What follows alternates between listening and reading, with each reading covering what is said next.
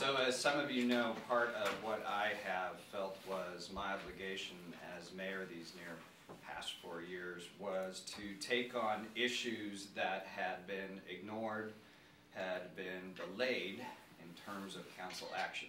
And we've done exactly that. Everything from uh, the fact that the city did not have a strategic plan. Um, our work resulted in Portland Plan, which is a 25-year strategic plan for the city, to the fact that in terms of equity based on race, the city had little focus on it, little focus that was effective. Um, we've now, with the leadership of Commissioner Amanda Fritz, we now have an Office of Equity, and an emerging equity plan uh, to the issue that we're going to be talking about today. And that is, it is time for the City Council to end the near 25-year parking wars in Northwest Portland.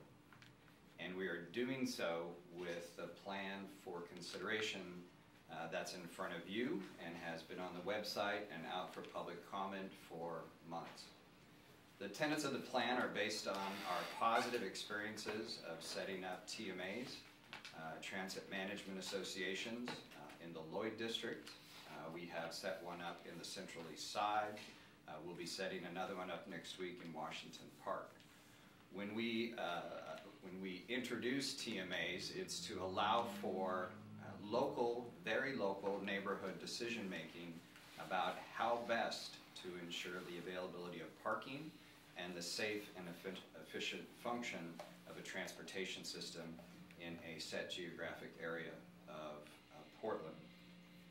Uh, just as a, uh, a background note, uh, Portland has been in the parking meter management business since the 1930s. Over 70 years, uh, the city has been managing the availability of on-street parking and uh, continues to do so and expand when there is an obvious need.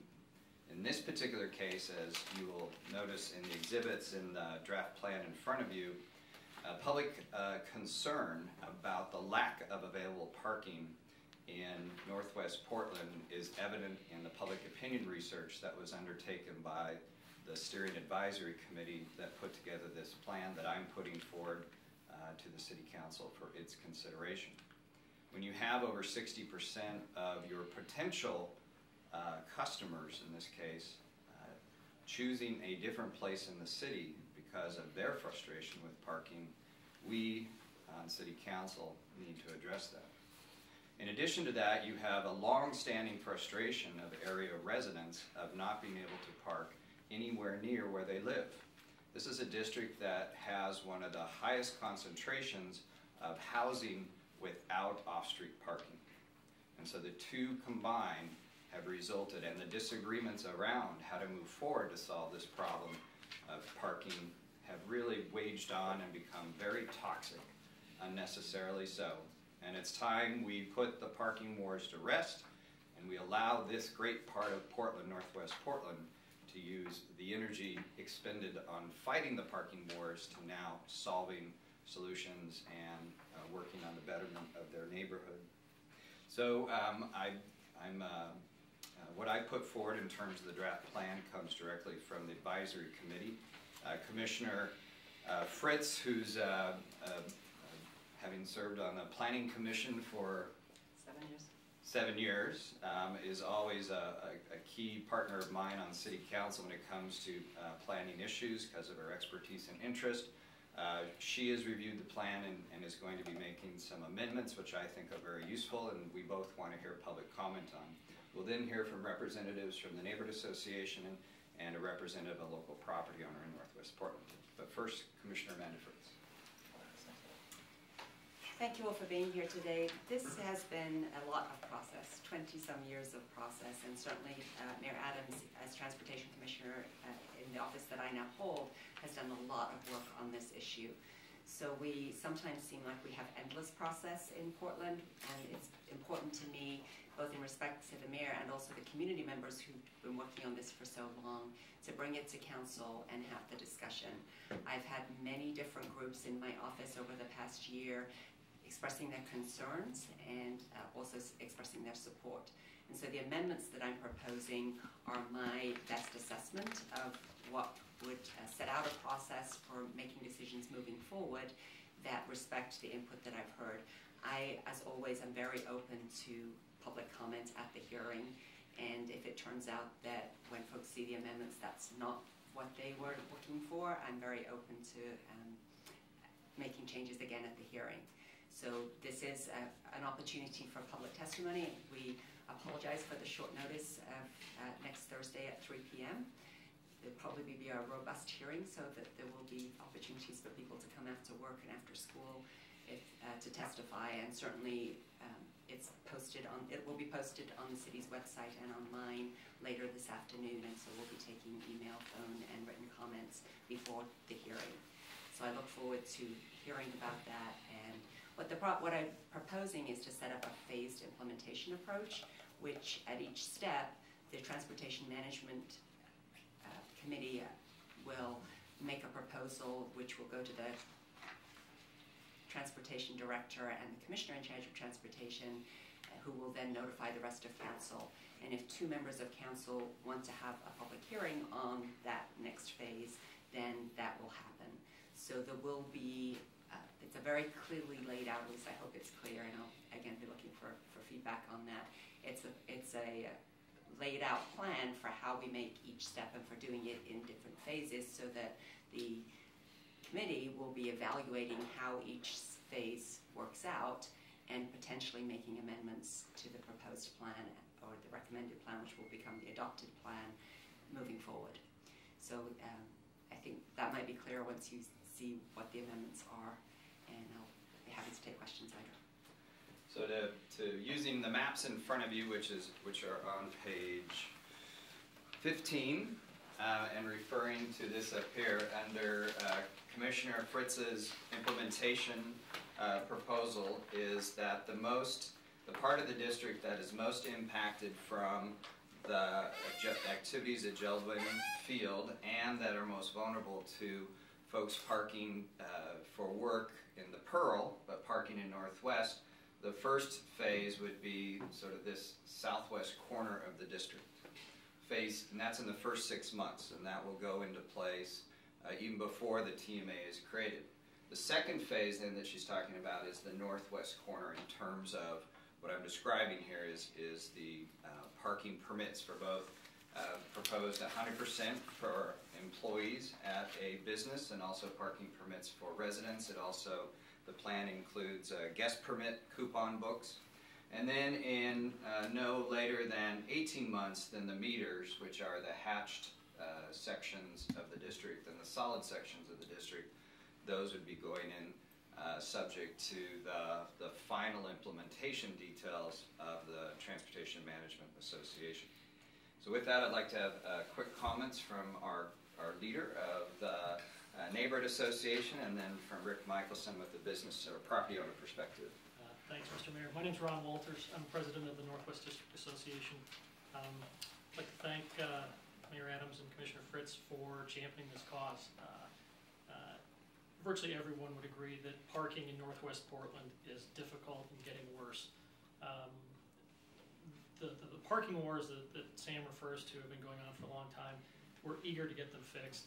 Uh, the status quo is not an option in our point of view. So we're looking forward to working on the plan, uh, seeing more details about the TPMA, uh, working with local businesses. Uh, We've had conversations with local businesses, and one of the things we do agree on is that we're all in this together. It's not about having uh, the residents uh, do well and the businesses hurt, or vice versa.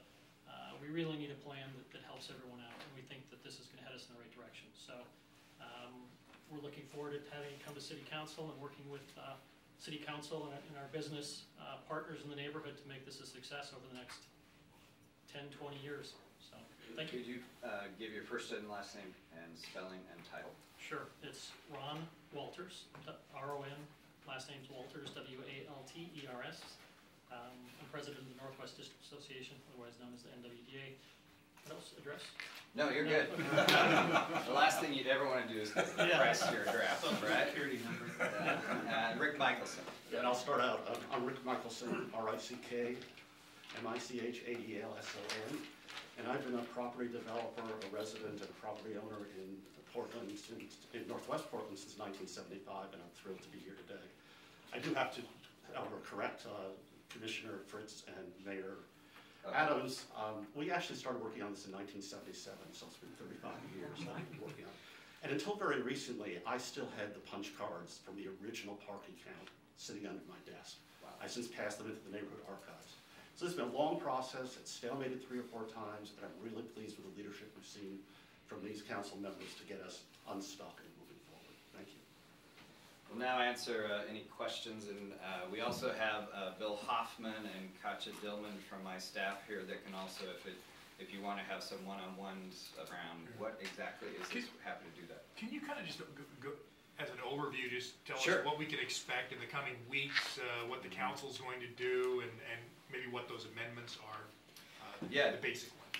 So, uh, three PM next Thursday at City Council, they will be considering the draft, uh, adopting the draft plan and map that you have in front of you, and then also considering Commissioner Fritz's amendments and any other amendments that come out of a discussion on the details of the uh, TMA.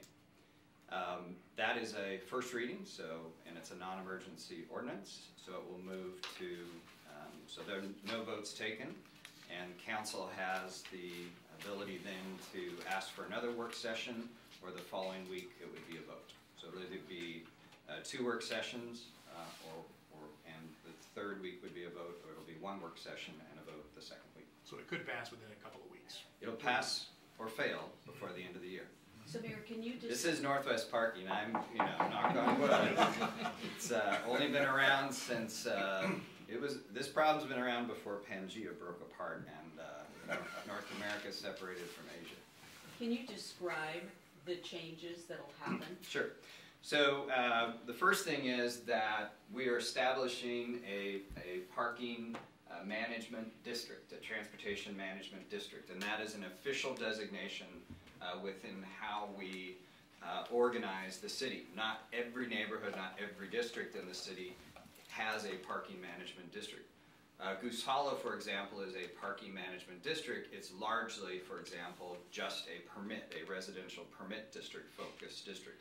Lloyd District is obviously um, a, a meter focused district. Um, so we use these to sort of come up with strategies that are hyper local to a specific part sometimes of a neighborhood. Uh, this would have our electronic meters going in as the equipment. Um, and the advantage of electronic meters is, you know, based on past uh, plans that had four-hour parking stays, time stays, that's the amount of time we buy, uh, four hours, the committee suggested three hours in the commercial district.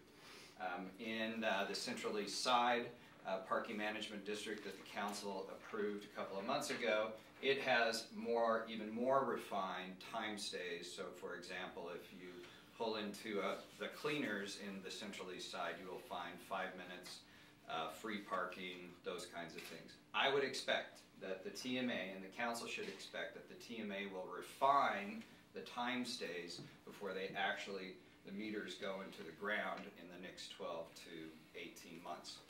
Um, but the beginning, so these, everything I'm telling you is sort of the, the uh, beginning point, the foundation on which the TMA will do its work. And If I could just interrupt for, Yeah. as, as you go along, I may interrupt. please do. Um, there is an issue, the mayor described the boundaries, and there's an issue with a charter school, the Class Academy, that wanted to be in the district so that they could then have access to the permits and the volunteer uh, coupons.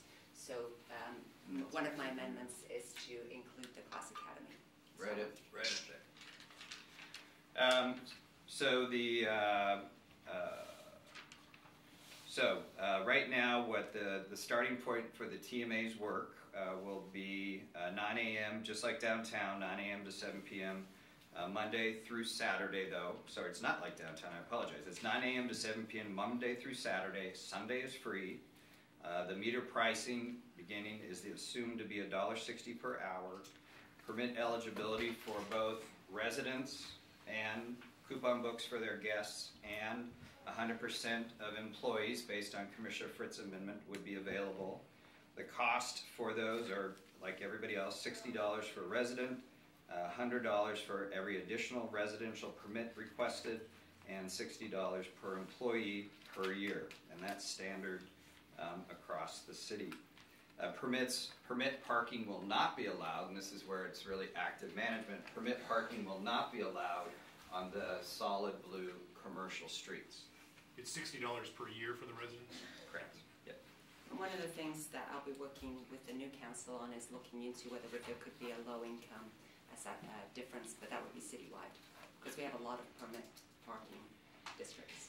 Um, two other things is, uh, that I should have said at the very beginning, with those, uh, draft, uh, letters of intent in front of you as part of this plan, we're also bringing on the potential for two hundred additional off-street, uh, parking spots at, uh, portions of Good Sam's campus and then behind MLC, uh, the off-street parking lot behind MLC. We've also had discussions at- with the owner of the Flanders Street uh, Medical Center on Flanders, just off 23rd, um, who's expressed an interest as well.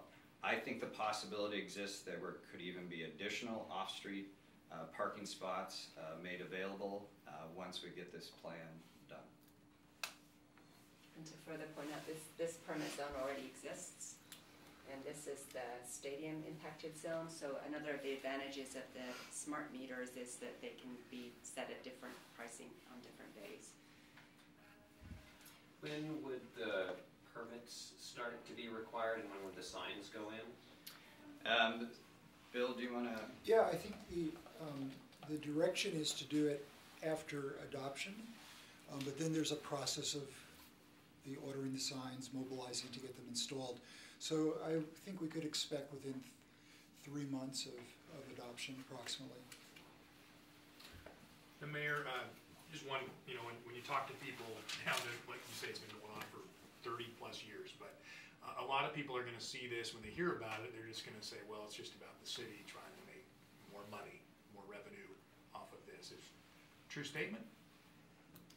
Um, I will tell you that, uh, you know, when you look at the PBOT's budget, if this doesn't go through, then PBOT starts having budget shortfalls, I think, in the third, fourth, and fifth year of the financial forecast. Um, The funding crisis facing transportation, not just in Portland, but in every major city, uh, almost every major city in the United States and the state as a whole is profound. Um, but funding, you know, the reason why transportation funding is so challenged is we have rising costs and we have uh, revenues that, um, on a relative sense, on a relative comparison to demand for services, are not adequate. We have more efficient cars. Um, we have uh, people driving fewer miles. Uh, we have fewer cars Multnomah County, at least according to registration. So uh, this doesn't even begin to plug the gap. Um, but we've also have a profit sharing agreement with the TMA. So um, those who say it's just for the the city to get money fail to understand that there's a profit sharing agreement so that the TMA can make investments back into this district, whether it's for low income permits or where it's for additional safety, uh, additional advertising for businesses. Uh, there are all kinds of, of um, needs in Northwest Portland that the profits from this district can be applied to. And the committee decides that, and it could also include things like subsidized bus passes, Yep. if that, the, the committee would decide that. Uh, Ron, did the neighborhood district vote on this, and how did they vote, and when? Uh, We Can you did get vote- near the? the Sure, excuse me. Uh, we did vote on the plan, uh, working from memory, I would say it was this spring, so we've been, uh, uh, sort of waiting for things to come forward as far as, uh, details on the TPMA, so frankly, we're seeing it, uh, for the first time today. And how did you vote in spring? Um, it was almost unanimous that, um, I think it was eleven to one or twelve to one, Tavo. Um, so, uh, you know, the NWDA felt strongly in favor of the plan. Uh, at the time, we hadn't seen the TPMA, so we asked for details, and we're getting it today. So, um, we'll digest them, I'm sure. Um, well, we're in favor of the principle of a TPMA, but obviously the terms of it, we're just seeing today, so we'll look forward to, uh, uh, looking through those and, uh, um, hopeful that we'll, uh, like most, if not all of the terms. And there has been a lot of input over the course of the year, so it's important to me that we do it um, with the current council, been hearing impact, input from everyone. Obviously, we, this is not how mayor or I usually do a public process and on other things like the city budget office and some of the other processes, we've had several um, opportunities at council as well as a longer process at this final point. We've had thirty-five years of process, so I think it's, although not ideal that we have to rush it at the end, it's important that the current council um, make the decision on it. Uh, the, uh, the business district is in, um, originally, uh, they sent a letter of support, uh, for the plan, um, but that was rescinded, and I think their official position now is in opposition. How does this increase the livability the neighborhoods and are the people upset of having to pay the sixty dollar permitting? Is that, you know, is, is it gonna make things better for parking, people that are homeowners, you know, off the twenty-first, twenty-third? Did that come up at all in the discussion? Maybe I I can answer that. Um, Yes, the main purpose of the entire program is to make it easier for customers and residents to find parking. And parking is a scarce resource and it needs to be managed. And by managing it, you can ensure more availability at the appropriate time for the given number of spaces. So that is the purpose of the plan. is the simple problem right now, people are parking their car and leaving it there too long? Are, are these people shoppers? Are they parking there, hopping on mass transit of some kind and going elsewhere in the city? Um, Yes to all of those. I think the clearest um, and easiest to solve problem is, is the people who park in the neighborhood and take transit downtown. I live on Northrup Street, which is along the streetcar line, and um, the number of people who park, actually change their clothes into the work clothes and then walk to the streetcar is, is quite astonishing. Um, This is not about self-interest. In fact, the first phase of the project doesn't cover my street, but it will eventually get there. All right, thank Bill very much. We'll stick around if you want to have individual questions. Appreciate you being here.